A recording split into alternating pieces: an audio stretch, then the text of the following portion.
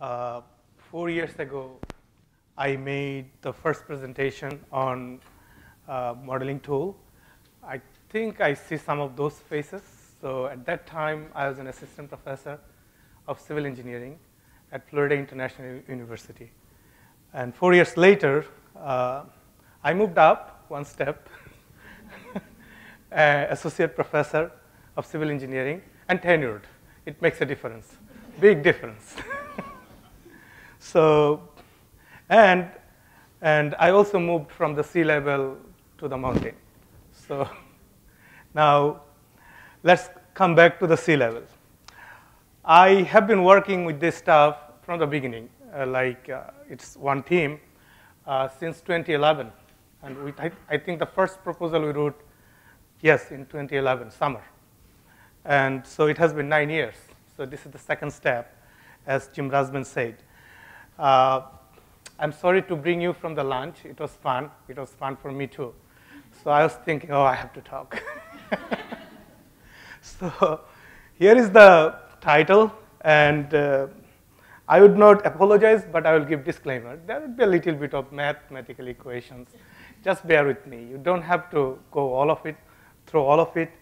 Uh, at the end, we will give you an Excel spreadsheet, and then Muhammad will work, work, work, walk you through that Excel spreadsheet. So a generalized model of greenhouse gas fluxes in coastal salt marshes across New England and the mid-Atlantic region of USA.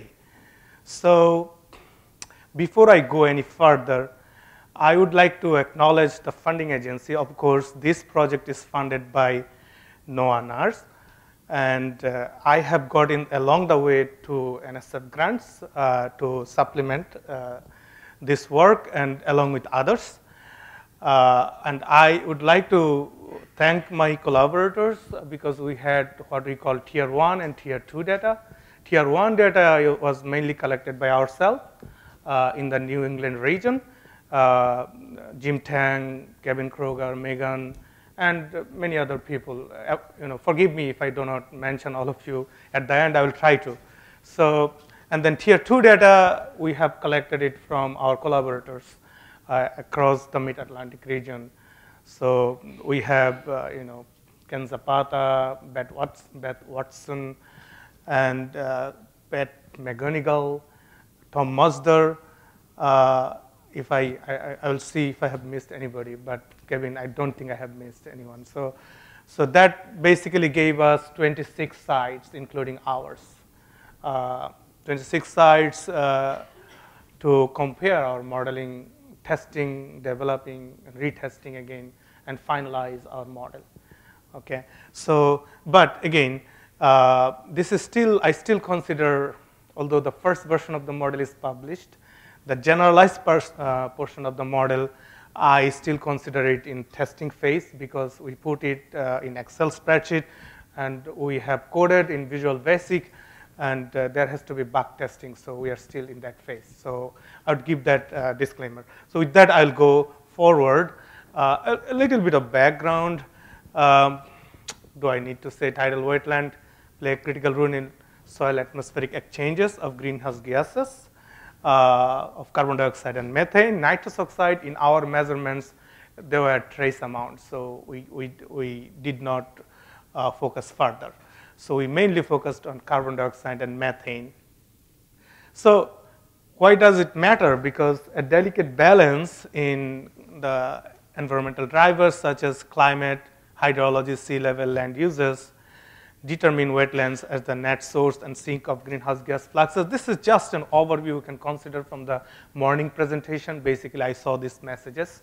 And a generalized model is needed to predict wetland greenhouse gas fluxes and potential carbon storage. I call it potential because we did not code in lateral fluxes uh, uh, in, the, in the Excel spreadsheet.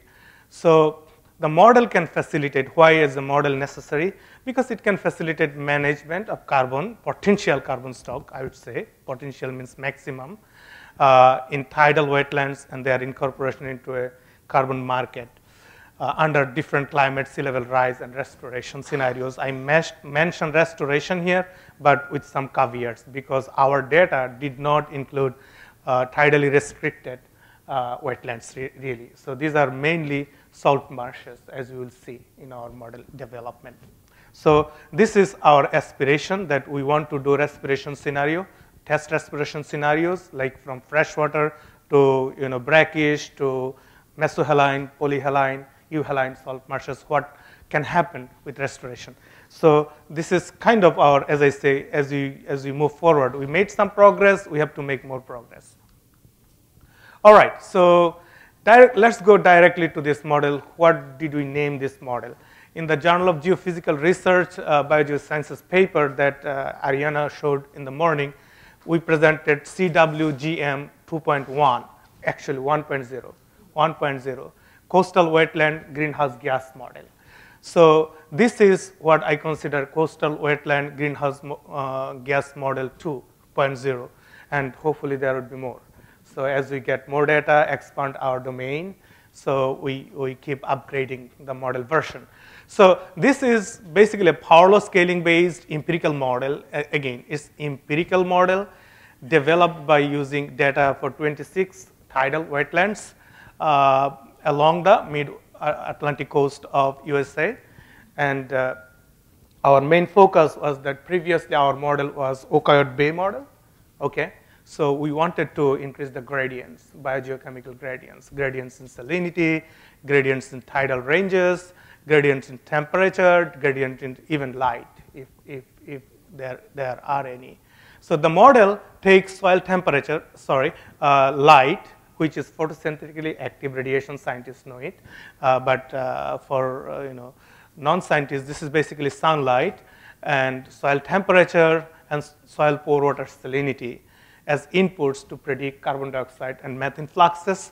The model estimates the greenhouse gas fluxes. Uh, basically, it's an accounting. Once you predict, then you see what is the balance between uh, productivity minus net respiration, then uh, minus uh, what is the methane, emitted methane. So basically, you get a potential wetland carbon storage. The reason, once again, I say potential wetland carbon storage because lateral fluxes would also play a big role. So you have to subtract lateral flux from potential to get the actual. So uh, by upscaling the predicted instantaneous fluxes, because we predict instantaneous fluxes, and then we, we scale it up to the extended growing season, and that's what we call annual uh, net atmospheric removal, carbon removal. NACR, in other words, potential wetland carbon storage. So this is basically the same thing, we are using different terms. But this is not net ecosystem carbon balance. Okay? So the model is presented in a simple macro-enabled Excel spreadsheet. We did our modeling in MATLAB, did all this analysis, and eventually, when we found the uh, model parameters, uh, we, we basically coded it in, in Excel spreadsheet so that anyone can just put in their input data and run the model. And uh, it's basically a macro. So put on, the, uh, click on the macro, get the predicted carbon dioxide, methane, and potential carbon storage. Okay, so we, may, we call it user friendly because you just need working knowledge of Excel spreadsheet to, to really use it. So, all right, for what was the objective of bringing relatively simple empirical model uh, to, to really Excel spreadsheet? The, the, once again, this is, this is uh, a product for coastal stakeholders, uh, land, land or reserve managers, restoration practitioners, different governmental agencies and NGOs who barely have time to go into the nuance of mathematics. So policymakers, so basically, you know, there may be other stakeholders, but basically these are the target groups we had in our mind when we started out. Uh, so model development, first the model development that we, we did in the past, and then further development with new data, and we wanted to see whether we have a generalized model for New England and beyond, like mid-Atlantic coast of USA. Now, this is, you don't have to read all of it. I, am sorry for it, but I had to tell you how, basically to remind you how I came up with this idea. You know, last, last time around I gave a, you know, relatively longer story, but this time I, let me just refresh the memory. I actually started uh, doing mechanistic modeling, means I was trying to describe the mathematical processes, I'm sorry, uh, biogeochemical processes with mathematics. Uh, for example, uh, I saw on speaker was describing how you know microbial community can change with uh, nutrient variation, right? Different nutrient in, input. So I started out with those kind of modeling you know, and one of those model was denitrification, de uh, decomposition uh, model, DNDC. Uh, professor uh, Changsheng Li from University of New Hampshire, research professor, he died in 2015, but he did one of a kind, you know, develop that kind of model for freshwater system, primarily started with agricultural system. So he wanted to predict greenhouse gas fluxes from croplands and then he expanded it to freshwater wetlands. So I started with that kind of modeling and I realized that that kind of modeling have hundreds of parameters. It's very difficult, you know, to really get good prediction even at the site scale if you don't have sufficient data. And even if you fit it to a particular site, once you take it to another system, then again you, you got to have all kind of data because that calibrated model would not be applicable even though it's mechanistically based, it has, it has many parameters. So parameters, you, you know, you need parameters in mechanistic model to feed the data. That's the, you know, I have done modeling for the last 15 years. So that's how, you know, it works. Even though you describe the mechanism, you still need parameters, a lot of them, because you have so many processes. So, so when I was working with that, I worked one year, I realized that, you know, that kind of modeling, even if you are successful at site scale, uh, you know, can you really take it to the end users? And how easy is it to develop that model and how easy is it to use it? Okay, so then I am I'm a civil engineer. I have done engineering hydrology. So all my degrees are in civil and environmental engineering. So I thought that how about bringing the engineering concept? Like you don't look for like uh, Ariana and others are saying, you don't look for the perfect tool or perfect information engineering has been done for last 100 or 200 years with imperfect information. That whatever you have, you use mathematics to quantify that. Don't worry about uncertainty, have knowledge about it. So, and then design with the best information. Yes, it doesn't work, and then people say engineers are not smart people, dumb people. They don't know anything. What do they know? And what do I know? so, so, you know, that kind of, you know, take that criticism, learn from that criticism, and then design for the next step. And that's how you build civilization. So, so that I, I tried to bring that kind of, I don't know, 10 or 11 years of schooling. So bachelor's, master's, PhD, you count it. So, so I, I brought that understanding and said that, okay, I will take an empirical approach, but it's not just fitted. I am going to look for salient features in the data means this is complex process, many complex processes are interacting with each, with each other, but at the end, do I see an, an emerging pattern? Do I see a scaling law? Means does the fluxes, do the fluxes of carbon dioxide follow any scaling law temperature, soil temperature, or light, or salinity, or same about methane. If I can find those, how do I find those? And these are the steps that I used, uh, you know, to, to kind of you know, analyze the data, I should not say to death, but rigorously, okay? And then, then understand that what can I do? And eventually I realized that this is what I can do, okay? Before, before going there, I thought I, I, this, this is the product that after doing that, I realized this simple, the, the model can be as simple as this. It's not perfect. It's probably one of the best that I know. You see what I'm saying? So that's how I thought. Okay, before that, let's let us give some refresher in terms of Waquoit Bay model. This is CWGM 1.0. Okay, we had, you know, in the morning, uh, uh, many speakers went through this, I think at least one, two, or three. So we had, this is Waquoit system. We had four sites with new nitrogen gradient. I mean, not a, not, not a huge nitrogen gradient, to a moderate level of nitrogen gradient. And we collected these fluxes of carbon dioxide, methane, nitrous oxide, air temperature, soil temperature, photosynthetically active radiation, light, and soil moisture, water level, and then pore water salinity and pore water pH. And I analyzed this data using the previous framework and came up with this model. There are a lot more details. Let's forget about those. And please bear with me on this since I have some equations. You can see that this is net uptake, basically net ecosystem exchange of carbon dioxide. So this is the net uptake fluxes during the daytime. You have this equation, which is light to the power 2 by 3 approximately, soil temperature to the power 3 and uh, 3.33 approximately, 3.28, and then soil salinity, pore water salinity of approximately 1. So you can see that net uh, carbon dioxide fluxes uptake, it is negatively related with salinity and uh, positively related with uh, uh, light and soil temperature. And this is daytime carbon dioxide uptake. And this is the nighttime or evening time net emission. And there's, you see that there is an exponent, scaling exponent of, of soil temperature is about 1.5. Okay, basically uh, 3 by 2. And then we wanted to see how well does it predict, and we see that it well it predicts pretty well. We have done cross validation 1,000 times. We did not just use one set of data.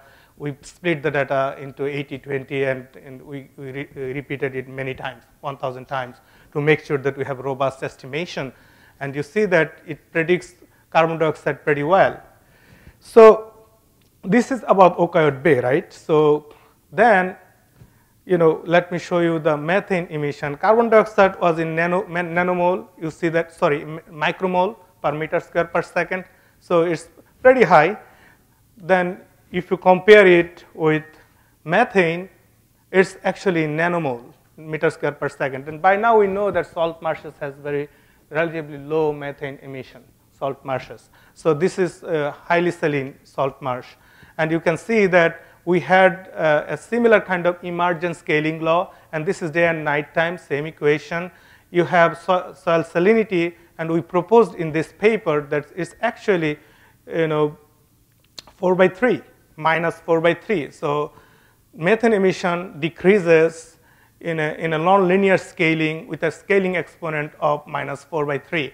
So, and then I did not propose it because I I thought that this coefficient is probably 3.45 of soil temperature is kind of dependent on the, uh, on the data of Waquoit Bay. So I did not propose that scaling equation.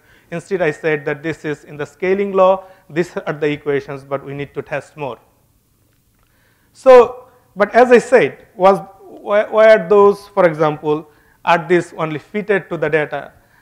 I, I had, uh, you know, strong conviction that no, with salinity, since we have so much published data in literature, so we use those and at different temperature like 10 degree, 15 degree, 20 degree, 25, 30, 35 degree Celsius, we, we basically plotted using following this equation, plotted methane fluxes with increasing salinity. And we see that the published data across the world, and, you know, they are kind of uh, you know, falling within this range. Okay? So that gave me hope, and you can see that you have freshwater uh, marshia oligohaline, which is up to 5 ppt, mesohaline, which is 5 to 18 ppt, parts per thousand, ppt means polyhaline 18, greater than 18 parts per thousand. So that gave me hope actually that we can, we can likely, you know, since we are, I'm seeing some salient emergent scaling laws, it is likely that we would be successful. Okay, but you cannot be, you know, sure until you test with the data. So that's what we did. Okay, as I said, B, this is BWM2 for model generalization, and we kept the Waquoit Bay data as a participant, and then we have more data uh, from Jim Tang in Cape Cod Bay, so Narragansett Bay, Rhode Island, Plum Island, Bar Barnegat Bay, and forgive me if, if I do not you know, pronounce them correctly. So Delaware Bay, you know, New Jersey, Delaware Bay, Delaware, Fox Creek, Maryland, and Freeman Creek, North Carolina. In, in the map, you can see that we have one site in North Carolina, and then you have Maryland, Chesapeake Bay, basically, and then we have Delaware, and then you have New Jersey, Rhode Island, Massachusetts. Okay, so why different colors? Uh, basically, triangles are tier 1 data, what we have measured. I'm sorry, uh, triangles are tier 2, what came from other people, our collaborators. These are triangles, right? These are triangles. And this is triangle from Tom Mozdzer. And, and, and circles are our own data set. Now, why different color? Different colors are, you know, the green uh, square is Spartina alterniflora, and blue squares are Spartina patens. Actually, not squares, just, just this is a, a legend for colors. We are using different symbols for, to show tier 1 and tier 2, but different colors to show different species. As you can see, Spartina alterniflora in green, and uh, blue is Spartina patens, and red is Distichlis. Uh, can, can you help me to say? Okay, so she said it. so, so, so, you can see that, uh, you know, and there are some mixture, okay. So we have mainly three species and a mixture thereof, okay. And uh, as you can see, these are our basically salt marsh species. We, we don't see freshwater you know, species here. So what we are presenting today, and that's basically salt marsh. Okay, the model is salt marsh model. Okay, so all right. So I just wanted to give you a feel about the range of the data. As you can see, uh, you know, this is carbon dioxide fluxes. This is methane fluxes, uh, and then light soil temperature, salinity, and as you can see, temperature uh, ranges from 8.8 to 36.2, and you have natural salt marsh, then you have restored salt marsh. This is both means overall summary, okay? And you see that there, you know, even carbon dioxide uptake, this is comparable, okay? And uh, as you can see, restor restored and natural comparable, although restored has mo slightly more you know, productivity. And then uh, methane emission uh, from natural, it goes you know, pretty high eventually. You know, this is nanomole, okay? Not as high compared to carbon dioxide, but when you compare it with uh, restored uh, salt marsh, it has much less uh, methane emission, okay? This is based on the data. So you, can, you are looking at around 3,900 versus 30. And then PAR is kind of, you know, these are comparable. And uh, soil temperature, I already told you. Salinity is like in the natural, the lowest salinity we had is 1.6. And but trust me, this is not the common thing, 1.6. This we have salinity mostly more than 10 ppt. Okay, so 10 ppt to 50 up to 50 ppt. Now in restored, same thing, you know, 10 up to 27. So I just wanted to give you a feeling, okay, I understood, I can keep talking, I am a professor, so, all right. So this is the, you know, uh, generalized model, and you can see the same model structure, right? PAR, salinity, as Waquoit Bay, PAR, soil temperature, and salinity. Salinity has a you know, coefficient of approximately minus 1, right? Soil temperature, previously it was 3.28. I, I, I, told you that I was you know, kind of skeptical that that will not be generalized, but here we see 1.36, kind of close to 1.33. PAR is close to 0.66. It's 74, 0.66, and 74 is not too far. They are close.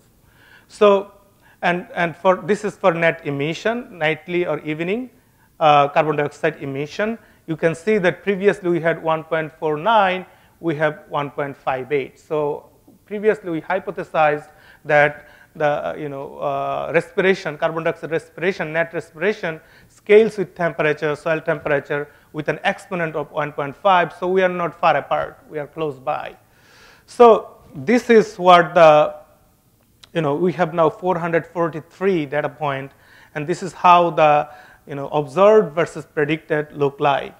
Okay, and this is one-to-one line. This is not the model line, one-to-one line, just to show you that it falls on both sides of this line. So it is kind of normally distributed, the errors.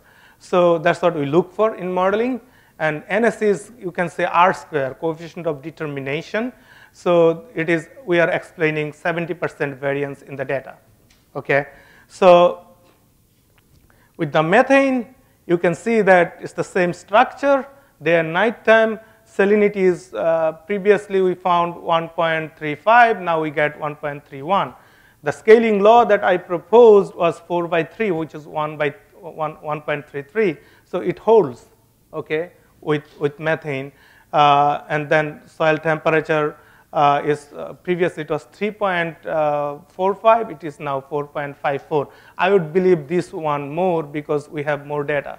So in summary, our salinity, light exponent, scaling exponent, it was not really you know different but soil temperature exponent for both carbon dioxide uptake and methane emission was different. However, it was not different for uh, carbon dioxide emission. So it was 1.5. So eventually, you know, I will go faster, as you can understand. So we can explain up to 80, 80 to 80, 81% variance in the data, and we have oligohaline, mesohaline, polyhaline, and euhaline ranges. Okay, but oligohaline ranges, once again, I'll, I'll just, this is for methane, more true for methane uh, in the data. But for carbon dioxide, we did not get much oligohaline. We, basically represented mesohaline, polyhaline, and euhaline. But for methane, we have all, all four ranges. That's just the availability of the data. Okay, so based on that, I already spoke with you, so I will, I'll cut this slide. So based on that, you know, my observed scaling laws, which I called, in, according to literature language like jargons, is these are organizing principles, like many complex processes interacting together, eventually giving this kind of emergent properties. Okay, and that is carbon, carbon dioxide net uptake scales with PR with an exponent of 2 by 3. Soil temperature, it scales with soil temperature with an exponent of 4 by 3, and salinity with an exponent of minus 1. And carbon dioxide emission, it scales with soil temperature with an exponent of 3 by 2. And methane emission, it scales with uh, soil temperature with an exponent of 9 by 2. And salinity, it scales with salinity with an exponent of 4 by 3. And this is just you know how PowerPoint will treat you. There is a minus here, okay? Minus 4 by 3, okay? So based on that, we what we did, we just we wanted, as I said, I just did not want a fitted model. So, and okay, so these are the exponent. These are our based on our observation. So we uh, fix the exponents and recalculated uh, the scale factor exponent. You know, that's what you want to do when you are doing scaling. Okay, so we fix this based on our understanding of the data, and then we recalculated the scale factor exponent here, like 1.55, and then 10 to the power a is basically a is different for different uh, salinity regime for methane. So this, these are our you know, proposed emergent generalized models now. I think you have not left me, that's good. So let me, let me move on to the actual model, that's the Excel, Excel spreadsheet where we coded it, okay? You have, you give light, one observation of light, one observation of soil temperature and pore water salinity. And then usually, you know, May to October is 183 days of growing season. It depends where you are, but in this region, New England and Mid-Atlantic, 183 is not a bad understand, I mean, assumption about growing season. And then you give, you know, uh, you give uh, global warming potential, okay, and there is a big debate about that. I'm not part of this debate. I just use it. Okay, so so you can, if you don't want to use global warming potential, use one, okay? But uh, methane is more potent than carbon dioxide, right? So from literature, we found 34 is 100 year global warming potential of, uh, of uh, methane, and uh, you can use 86. We give a drop down menu here. You can choose one, you can choose 34, you can choose 86. I will change it in the future if the community comes up with different numbers, okay?